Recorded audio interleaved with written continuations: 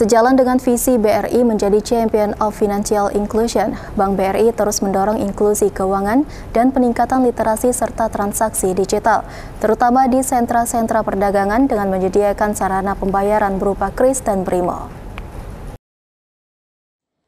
Dengan mengambil tema dagang mudah, belanja murah, mudah transaksinya, banyak hadiahnya, merupakan ajakan bagi para pelaku usaha di pasar-pasar Provinsi Sumsel, Babel, dan Jambi, di mana pelaku usaha yang bertransaksi cashless menggunakan alat acceptance BRI baik berupa Brimo dan Kris. BRI Kanca Abunjani Sipin mengadakan program dagang mudah belanja murah di Pasar Rakyat Aurduri. Pimpinan cabang BRI Abunjani Sipin, Irfan M. Pratama mengatakan, untuk di Provinsi Jambi, program dagang mudah belanja murah dilakukan di Pasar Rakyat Aurduri dan Pasar Angso Duo.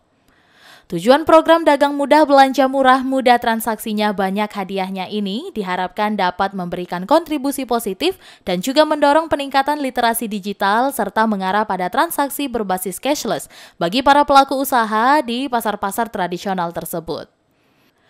Program ini pun serentak dilaksanakan di 13 titik pasar di Ropa Lembang. Pihaknya pun mensupport literasi keuangan sejalan dengan apa yang telah diamanatkan pemerintah dan Bank Indonesia. BRI berpartisipasi mendorong dan mendidik nasabah untuk paham terhadap inklusi keuangan dan bertransaksi secara digital untuk kebutuhan sehari-hari. Di samping mendidik nasabah untuk bertransaksi secara digital, pihaknya pun telah menyediakan banyak hadiah yang menarik, baik itu lucky draw, kemudian diskon pembayaran menggunakan kris dan Brimo, maupun door prize yang akan diundi pada masa periode program mulai dari 1 Oktober sampai dengan 31 Desember 2023, mulai dari belanja murah dan dagangnya mudah dengan Brimo dan kris. Di samping itu, program ini juga diharapkan dapat mempererat hubungan antara BRI dengan pelaku usaha dengan memberikan value lebih terhadap kegiatan transaksi jual beli. Rekan-rekan semua, jadi hari ini uh, kami dari BRI Kabupaten Sipin melaunching program program ini serentak memang selindo dan di Sumatera dan di provinsi Sumatera Selatan, Jambi dan Bangka Belitung kami melaunching program di pasar Auduri dengan judul dagang mudah belanja murah gitu ya. Jadi di sini memang kita mensupport literasi keuangan. Jadi uh, sejalan dengan apa yang telah diamanatkan oleh pemerintah maupun dari Bank Indonesia bahwa kita diminta berpartisipasi untuk meningkatkan literasi keuangan di masyarakat.